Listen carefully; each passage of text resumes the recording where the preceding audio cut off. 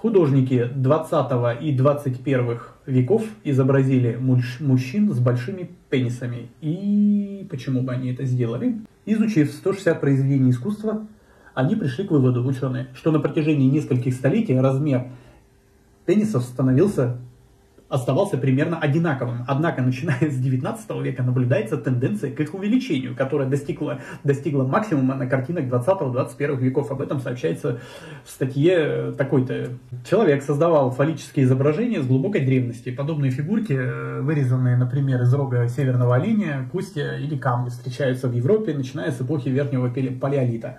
Вот. Во многих э, более поздних культурах э, также делается акцент на художественных изображениях. Ну, исследовали 232 картины, окей, годы указаны, все понятно.